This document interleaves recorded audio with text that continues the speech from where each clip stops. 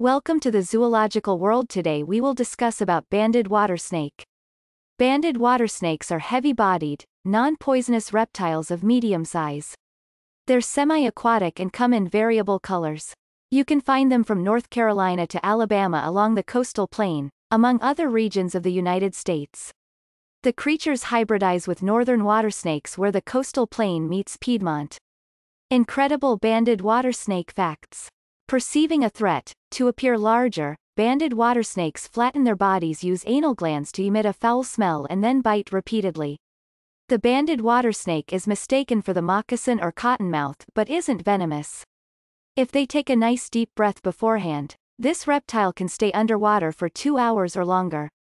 Where to find the banded water snake Banded water snakes live primarily along the United States coastal plain from North Carolina to southwest Alabama. They are also at home in parts of Florida, Texas, and Arizona. The non-venomous snakes keep near streams and ponds as they prefer vegetated ponds and lakes. You'll also find them in shallow waters like ditches, streams, rivers, swamps, wetlands, and marshes. They appreciate North Carolina's habitats for its freshwater aquatic habitats. Types of banded water snakes The banded water snake consists of three subspecies. The southern water snake, Nerodia fasciata fasciata, the broad-banded water snake, Nerodia fasciata confluens, and the Florida water snake, Nerodia fasciata pictiventris.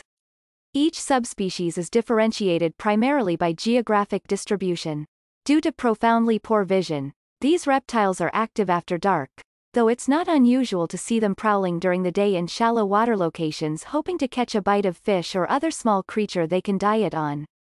Population and conservation status The banded water snake, or southern water snake, is a non-venomous species of aquatic reptile found in many United States locations.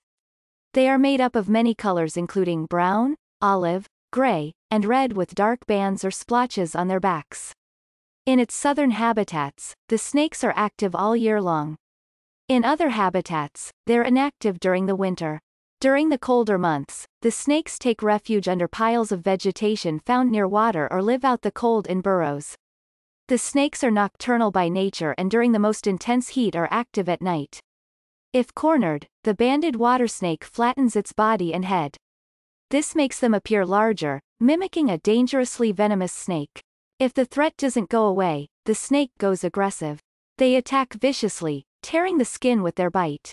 They also release a horrible smell if stepped on or picked up. According to the IUCN Red List, the banded water snake's classification is least concern. Outside of large birds of prey like the great blue heron, larger snakes, and other semi-aquatics like alligators, the banded water snake faces no major threats of record. There has been a reduction in, or elimination, of the aquatic vegetation the snakes use as habitats due to drainage or removal of wetlands. We want to note many of these animals are often killed by frightened people mistaking them for the venomous cottonmouth. The banded water snake shares its habitat with the cottonmouth. They are also victims of roadkill. How dangerous are they? Water snakes are among the most common in the country. Several species can be aggressive and, if cornered, violent, but none of the species are venomous.